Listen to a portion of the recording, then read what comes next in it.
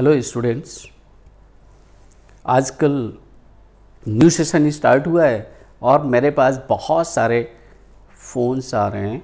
बहुत के सर कौन सी बुक लूँ? सर कौन सी बुक लूँ? सर कौन सी बुक लूँ? डायरेक्टली लाइफ में सक्सेस का पहला स्टेप ही है कि हम किस बुक से स्टडी कर रहे हैं और कैसे स्टडी कर रहे हैं। For physics I'll advise to you. NCERT is the best book but standard of the NCERT इतना शो हाई स्टैंडर्ड है कि रिफ्रेशर जो न्यू स्टूडेंट आया हुआ है इन द क्लास एलेवेंथ वो उसके लैंग्वेज को नहीं समझ सकता है फॉलो नहीं कर सकता प्रॉपर वे सो मेरी एडवाइस है कि आप कोई रिफ्रेशर बुक लीजिए, प्रदीप ले लीजिए या ऐसे अरोड़ा ले लीजिए। कोई अदर आप रिफ्रेशर बुक ले लीजिए।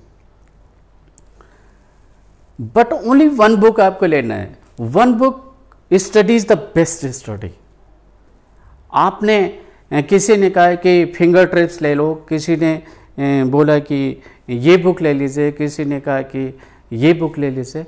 आप वो बुक लेते गए, हर बुक के कंसेप्ट अलग अलग हैं। किसी बात को समझाने के टेक्निक्स अलग अलग हैं, आप कंफ्यूज हो जाओगे।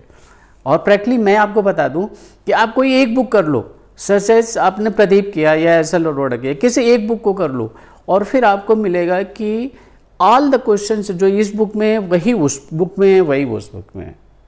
तो द बेस्ट है कि हमारे बहुत कम एफर्ट लगे और हमें द बेस्ट नॉलेज हो उसके लिए प्लीज़ आप ओनली वन बुक करिए और पहले बेसिक आप स्ट्रॉन्ग कर लो ए बी सी डी से आप चलना शुरू करें और एक्स वाई जेड लेवल तक हमें स्टडी करना है।